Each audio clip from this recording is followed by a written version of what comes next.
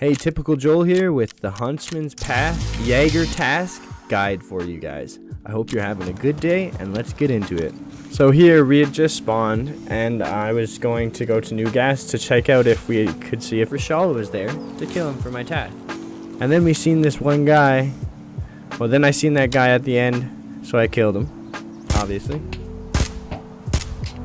Homie got shot at and didn't know where he was getting shot at from.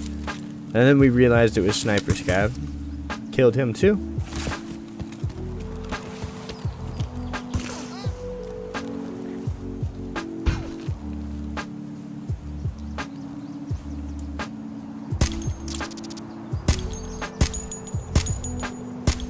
And after that, basically just started to go to new gas.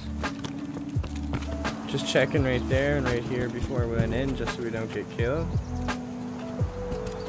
Hit this stash up real quick. Grabbing everything to make money, just in case we don't see anyone. See another scav, we killed him. We didn't know if it was Rashal and his boys or not. Heard that fighting. Uh, my buddy was shooting at a scav in the back. He's kind of a Timmy, so we were wondering if Rashal was here. Once I seen that he only had this, I kind of knew that Rashal wasn't here, but Buddy was like, oh, make sure you check around back. There's still some scavs. So I ran around, went and checked, but he had already went in to go and kill the scav.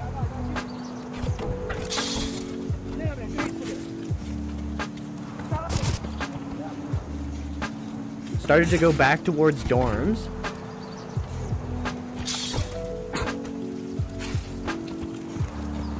Started to make our way to dorms. Right here, I'm just checking dorms third story and second story to see if I could see anyone inside. And uh, it didn't look like there was anyone there, so we started pushing up.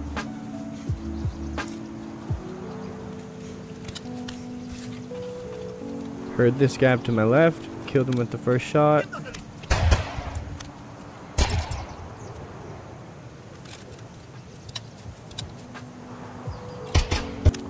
Then right here, I was like, oh, he's not gonna be here. He's never here. And When is he ever here?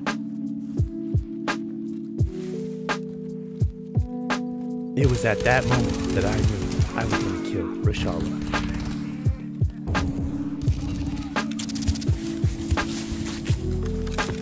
Then my buddy told me where he was, and I wasn't stopping. I was going. I was getting my task done. And this is it, boys.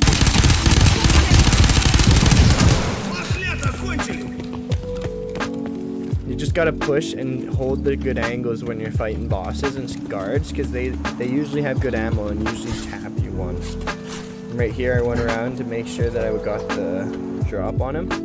Homie had cleared left side already and made sure no one was there. I had to check right side to make sure it was all clear because they had told me that he would be on my right. I know they sit in there. Same with Scav Boss sometimes, so I just knew he was there to the left. Killed that guy too. Went to run out the door, my buddy was there. And I realized that homie would be there too, so I quick checked. Killed him.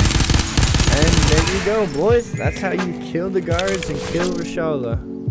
And get that task done. The hardest part about this task, I would say, is the fact that I can barely find him. And when I do find him, I'm either on a scav run or I have no kit on. I'm just running in like hatchet run or knife run, you know what I mean? At this point, I was just ready to get the loot and get out. So I got everything I could. Tried to give all, um, right here, I was trying to figure out what to do with these fast years. My buddy wanted him, the Timmy, Timmy in our group, so I, I gave him to him to help him out. Got all the loot I could get and dipped out. Luckily we had Smuggler's Boat for extract. Always check if the fire is on because that's a really quick PMC extract away from dorms if car's not there.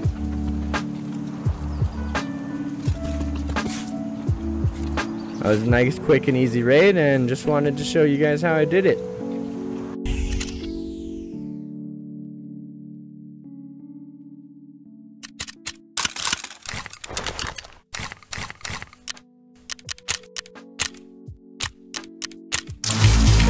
Just sold everything.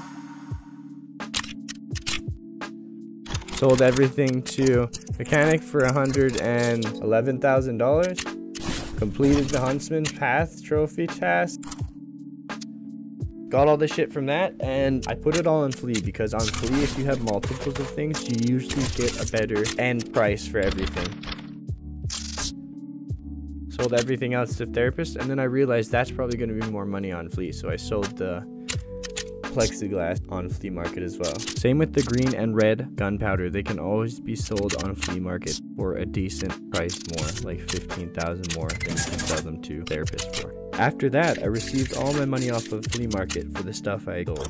Got like $300,000 off that raid and completed the task I've been stuck on for weeks.